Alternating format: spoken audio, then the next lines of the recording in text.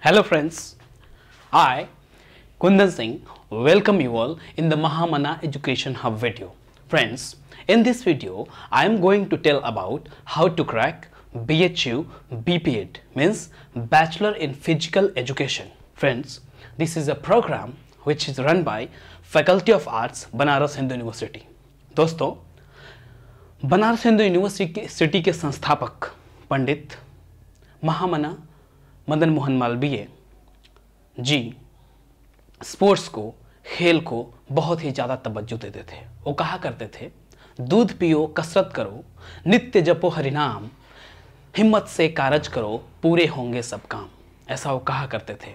आपने महान फिलोसोफर स्वामी विवेकानंद का नाम सुना होगा, जिनके जन्म दिवस पर 12 जनवरी को हर साल राष्ट्रीय युवा दिवस मनाया जाता है। वो वही, वो बहुत ही अच्छे एक फुटबॉल के प्लेयर थे। और वो कहा करते थे कि मेरे प्यारे बच्चों, अगर तुम गीता समझना चाहते हो तो पहले फुटबॉल खेलो। अगर तुम फुटबॉल नहीं खेल सकते तो मैं शत प्रतिशत यह कह सकता हूँ कि तुम गीता का एक भी अध्याय नहीं समझ सकते।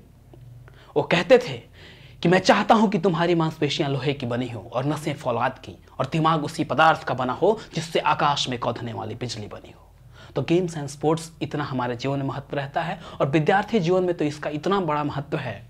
कि मैं बता नहीं सकता। आप जिस फ़ील्ड में जाएँ जहाँ भी जाएँ अगर आप गेम्स एंड स्पोर्ट्स में बहुत अच्छे हैं तो एक तो बहुत ही फिट रहेंगे। फिर पढ़ने या को, कोई और भी काम करने में आपका बहुत ही अच्छा से मन लगेगा ठीक है? और आपका स्वास्थ्य ठीक रहेगा तो आप कोई भी काम बड़े ही आसानी से कर ले जाएँगे ठीक है? तो मैं आगे बढ़ता हूँ इन्हीं चीज़ों की कुछ जानकारियाँ दे देता हूँ कि B bachelor in physical education के लिए क्या ज़रूरी है। कौन से फैकल्टी चलाती है इसकी, कितनी सीटें हैं, कैसे इसमें आया जाए, क्या नॉर्मल रिक्वायरमेंट्स हैं, किस तरह के क्वेश्चंस होते हैं, उसके बाद क्या कार्रवाई होती है किस किस तरह की चीज़ें पूछी जाती हैं आपसे और कैसे आना है, और कौन कौन से गेम्स हैं स्पोर्ट्स हैं इसमें, ठीक है? ओके तो B H U Banaras Hindu university bachelor in physical physical education जो डिग्री है, अगर आप इसको परस्यू करना चाहते हैं तो मिनिमम आपकी रिक्वायरमेंट जो होनी चाहिए वो आप ग्रेजुएट होने चाहिए और वो भी आप ग्रेजुएशन में कम से कम 50 प्रतिशत अंक लिए होने चाहिए, ठीक है?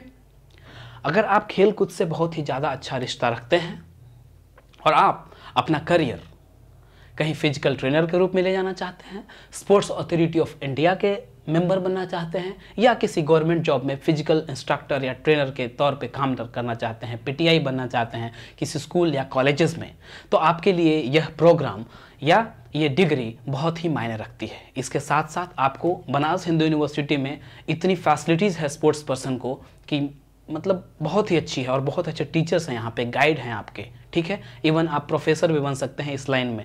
आ, हमारे एशियन गेम्स होते रहते हैं कॉमनवेल्थ गेम्स होते हैं, चाहे नेशनल गेम्स अभी ही भुवनेश्वर में थोड़े दिन पहले हुए थे। तो इन सब में आपको टेक्निकल ऑफिसर या लाइनमैन या किसी तरह का भी उस समय में बुलाया जा सकता है, अगर आप बहुत अच्छा परफॉर्म करते हैं इन सब कोर्सेज के साथ, आपके पास रिक्वायर्ड सर्टिफिकेट्स होते हैं। तो ठीक है?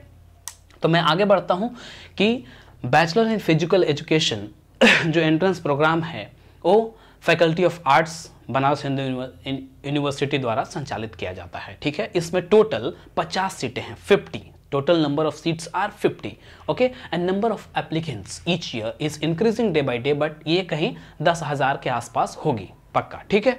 उससे ज़्यादा बढ़ते जाएगी, लेकिन दस हज़ार तो रहता है नॉर्मल एक स्ट्रेंथ है, ठीक है? इसमें टोटल ये ये टोटल दो साल का प्रोग्राम है, इसका मतलब ये चार सेमेस्टर का प्रोग्राम है, ठीक है? और मिनिमम रिक्वायरमेंट क्या है उस तो मैंने बता ही दिया है। इसमें total number of question equals to hundred सौ क्वेश्चन होते हैं and each question contain three marks okay इसका मतलब 300 अंकों की रिटर्न परीक्षा होती है, ठीक है? और मैक्सिमम एज लिमिट जो होनी चाहिए वो एक जुलाई जिस साल में आप एडमिशन लेने जा रहे हैं, उस साल को आपकी एज मैक्सिमम 25 साल होनी चाहिए, उससे ज़्यादा नहीं, ठीक है? और आपके ये जो आपके जो एरियाज़ हैं आपके जो स्कोप्स हैं after completion of this course तो वो मैंने बता ही दिया है कि फ़िज़िकल ट्रेनर बन सकते हैं, आप कोचेस बन सकते हैं डिफरेंट गेम्स एंड स्पोर्ट्स को, जो भी आपका गेम होता है, जो स्पोर्ट्स होता है, इसके बाद एम करते हैं। अगर आप हायर एजुकेशन में जाना चाहते हैं और इवन प्रोफेसर बनना चाहते हैं, अच्छे कॉलेज में, अच्छी यूनिवर्सिटी में स्पोर्ट्स वाले फ़ील्ड में तो भी बन सकते हैं। बी के बाद एम कीजिए, इसके बाद नेट की परीक्षा दीजिए, फिर पीएचडी कीजिए किसी टीचर के अंडर में और फिर आप प्रोफेसर बन जाइए, ठीक है? स्पोर्ट्स वाले फ़ील्ड में, ठीक है? पीटीआई बन सकते हैं स्कूल कॉलेज में।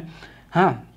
इसके बाद गवर्नमेंट जॉब्स मिलते हैं, स्पोर्ट्स अथॉरिटी ऑफ़ इंडिया में जा सकते हैं time to time state government या सेंट्रल गवर्नमेंट भी अपना जॉब निकालती रहती है, ठीक है? अभी थोड़े दिन पहले ही यूपी गवर्नमेंट ने निकाले हैं तो आपका बहुत ही अच्छा है। इसके अलावा आप दारोगा और की भर्ती जब आती है तो उनके लिए कुछ सीटें होती है जो बिल्कुल स्पोर्ट्स कोटे वालों के लिए, उसके लिए रिक्वायर्ड सर्टिफिकेट तीन या चार नेशनल खेले होने चाहिए, ऐसे कुछ होता है, ठीक है? तो बहुत ही अच्छा प्रोग्राम है, लेकिन आप बिल्कुल खेल को छोड़िए मत, क्योंकि इसका जीवन में बहुत ही ज़्यादा महत्व है। ठीक है?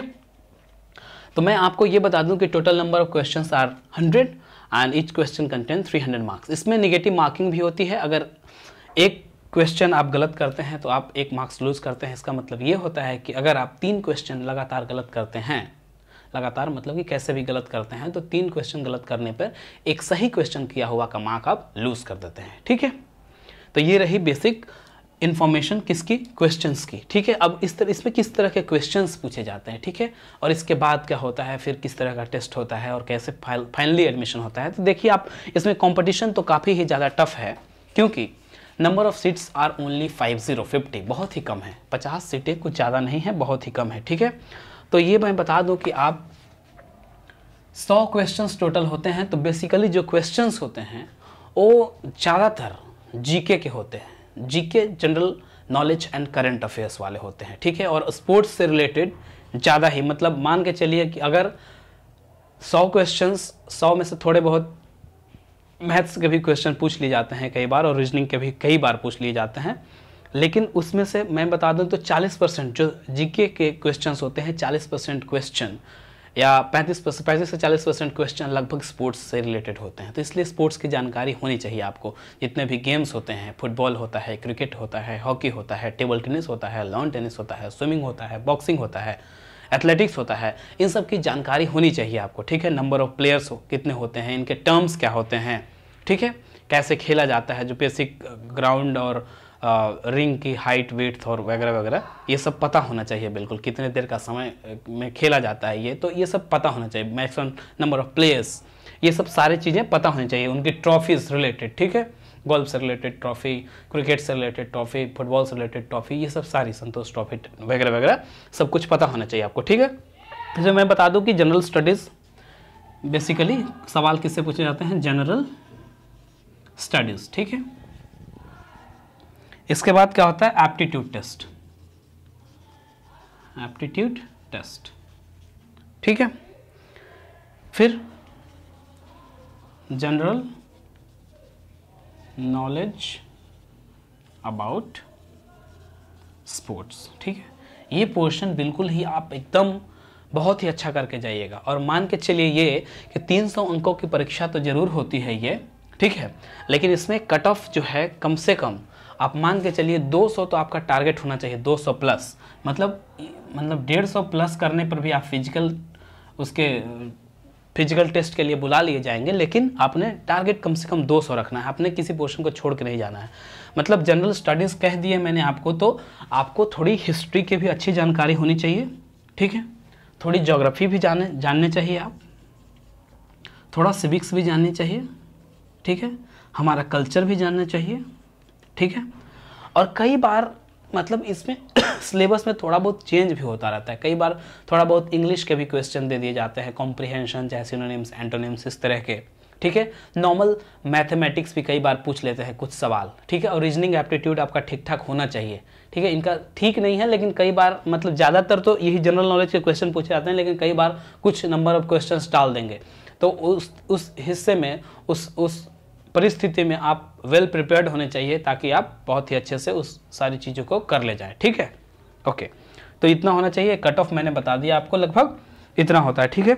अगर आप इसके बाद क्या होता है कि इसके बाद करने के बाद रीजनिंग और ये सब सही तैयारी कर लेंगे आप तो अगर आप इसमें लगभग 50 परसेंट से ज़्यादा मार्क्स ले आते हैं, एक कैंडिडेट्स को शॉर्टलिस्ट करते हैं और इसके बाद क्या होता है कि आपका 300 परीक्षा तो ये रिटर्न हो गई 300 अंकों की। ठीक है, इसके बाद फिर से 300 अंक की 300 अंक की परीक्षा क्या होती है आपकी? फ़िज़िकल टेस्ट ठीक है? ये कंट्रोलर ऑफ़ एग्जामिनेशन द्वारा करवाया जाता है। बाहर से कुछ टीचर्स आते हैं प्रोफेसर्स आते हैं इन्विजिलेटर्स आते हैं और उनके अंडर में आप फ़िज़िकल टेस्ट देते हैं। ठीक है, उसमें रनिंग होती है। ठीक है, कुछ शॉर्ट फुट फेंकना होता है, ऐसे पीछे करके फेंकना होता है नॉर्मल एक जंपिंग होती है। ठीक है, एक वन टाइप वाला, ऐसे करके, ठीक है? और दो चार चिनअप पुशअप वैसे होंगे। मतलब अगर आप स्पोर्ट्स से ताल्लुकात रखते हैं रेगुलर खेलते हैं अच्छा खेलते हैं तो आप निश्चय ही उस फ़िज़िकल ट्रेनिंग में फेल नहीं होंगे 100 परसेंट अगर आपके पास स्पोर्ट्स सर्टिफिकेट हैं नेशनल के, चाहे स्टेट लेवल के, चाहे और भी कुछ लेवल पे क्लस्टर खेला हुआ है आपने कुछ भी तो वो मायने रखता है, ठीक है? पिछले तीन साल के सर्टिफिकेट जितने आप स्पोर्ट्स से कमाए हुए हैं, उसको ज़रूर लेके आइएगा, क्योंकि उसका एक अपना वेट वेटेज है, ठीक है? वो आपको इसमें एंट्री दिलवाने में ज़रूर ही मदद करेगा, ठीक है? यहाँ पे गेम्स एंड स्पोर्ट्स की मैं बात करूँ तो यहाँ पे लगभग बहुत ही, बहुत सारे गेम्स हैं, ठीक है? हॉकी है यहाँ, फुटबॉल है बास्केटबॉल है वॉलीबॉल है शूटिंग है हाँ बॉक्सिंग है, ठीक है? ताइकोंडो भी है, ठीक है? उशू भी है, अब आ गया है उशू भी, ठीक है? इसके अलावा इसके अलावा टेबल टेनिस भी है, लॉन टेनिस भी है, इतने अच्छे अच्छे गेम्स हैं तो आप किसी में भी, स्विमिंग भी है तो आप इस, इन सब में किसी में भी इंटरेस्टेड हैं तो ज़रूर आप आइए, इन परिस्थितियों का, इन फैसिलिटीज़ का लुफ्त उठाइए, और बनारस हिंदू यूनिवर्सिटी में बहुत ही अच्छा बहुत ही अच्छा माहौल है स्पोर्ट्स का मतलब यहाँ पे नंबर ऑफ़ ग्राउंड्स इतने हैं, पंडित महामना मदन मोहन मालवीय इतने ही गेम्स एंड स्पोर्ट्स को तवज्जो देते थे कि जितने भी हॉस्टल्स हैं यहाँ पे तो हॉस्टल्स के जस्ट सामने, हर हॉस्टल के सामने लगभग उन्होंने ग्राउंड बनवा रखा है। मतलब हॉस्टल से निकलो, आप पहले कसरत करो, खेलो कूदो, इसके बाद उस, उन्होंने फैकल्टी बनाई थी। मतलब कि जो इंस्टीट्यूट्स होते हैं हमारे पढ़ने जाने के लिए मतलब ग्राउंड के बाद। मतलब पहले उनकी प्रायोरिटी क्या थी कि बच्चे हॉस्टल से निकले, पहले खेले कूदे, इसके बाद पढ़ने लिखने जाए। मतलब फ़िज़िकल फिटनेस को उन्होंने बहुत ही ज़्यादा ध्यान में रखा था ताकि उसके बिना कुछ नहीं हो सकता because health is the main thing अगर आप स्वस्थ नहीं रहेंगे तो कैसे कुछ कर पाएँगे, ठीक है? तो इतनी सारी चीज़ें मैंने बता दी है। अगर अभी भी आपको कोई डाउट हो तो आप पूछिएगा, मैं ज़रूर बताऊँगा कमेंट के थ्रू या जैसे भी अगर वीडियो बनाना होगा वीडियो भी बना दूँगा। लेकिन इतनी बेसिकली आपको करना होगा, ठीक है? इसके बाद क्या होता है कि फ़िज़िकल टेस्ट के बाद भी अगर फिर से शॉर्ट लिस्ट होते हैं कैंडिडेट्स और उनको बुलाया जाता है किसके लिए? मेडिकल चेकअप चेकअप के लिए, ठीक है? स्टूडेंट हेल्थ केयर सेंटर है यहाँ पे, बनारस यूनिवर्सिटी में। वहाँ पे आपको मेडिकल चेकअप के लिए जाना होगा और इसके बाद अगर चेकअप हो जाता है तो फाइनल एक मेरिट लिस्ट निकलती है, जिसके अंतर्गत 50 बच्चे और लड़कियाँ मतलब लड़के मेल एंड फीमेल बोथ वो एडमिशन यहाँ पे ले पाते हैं, ठीक है? तो वीडियो देखने के लिए धन्यवाद। अगर आपने अभी तक इस चैनल को सब्सक्राइब नहीं किया है तो ज़रूर सब्सक्राइब कीजिए। अगर वीडियो पसंद करते हैं तो लाइक कीजिए, नहीं पसंद करते हैं तो डिसलाइक कीजिए, लेकिन कमेंट में ज़रूर लिख के बताइए कि डिसलाइक क्यों किया, ठीक है?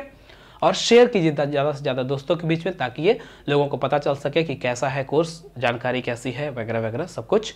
तो देखने के लिए धन्यवाद and all the best for your written examination and I hope that you you will surely get into our department not only department but into our university and bachelor of physical education का हिस्सा आप ज़रूर बनेंगे। Thank you for watching thank you one all